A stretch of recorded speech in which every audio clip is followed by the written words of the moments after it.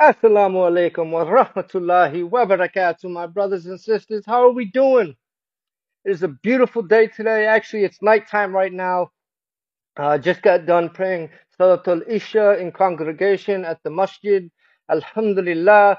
Um, it was wonderful. Uh, I got to see my mentor, the Sheikh, and we talked for about an hour afterwards. Um, subhanallah, it, it was it was wonderful. You know, and we got into talking about Number one, the beautiful situation that occurred this weekend with my father when I gave him the Quran um, and he received it welcomingly. And then I told him that this coming week, right, not this week, but the week after, um, my mother and my father, so my parents are split up, they've been divorced since I was a very little child. Um, they want to meet together. They both want to see me. So we're going to meet at a place halfway between them both. in um, we're going to go to a Lebanese restaurant that I went to last week with my mother. And this time I'm going to try and give her a Quran again for the second time. The first time, just like my father, they both didn't want it.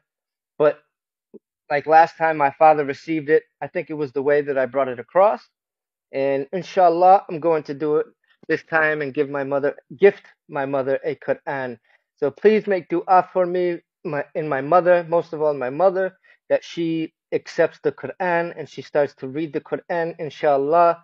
And please make dua for both my mother and my father that they get that they are guided to Islam by Allah subhanahu wa ta'ala and that they both find Islam down the road, inshallah. Um, so aside from that, that beautiful situation that happened, alhamdulillah, my sheikh and I, you know, we, we spoke um, number one about all of the comments because he, he watches my videos as well and he saw all of the comments in my videos from all of you my brothers and sisters. I say it all the time i cannot thank you enough and he said how beautiful it was to see how inspired so many brothers and sisters are let it be that they're reverts let it be that they're raised muslim from muslim countries um, and they all seem to be inspired by what i say and I just try and do what Allah subhanahu wa ta'ala chooses for me.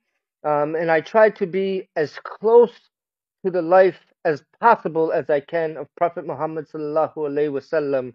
Um, and as I say all the time, thank you so much for your compliments. But please remember, do not praise me. I am just a creation. The only one that is worth the praise and worship is Allah subhanahu wa ta'ala. So with that being said, I will say good night to you all. Assalamu alaikum wa rahmatullahi wa barakatuh. You all have a great night. I love every one of you. Take care.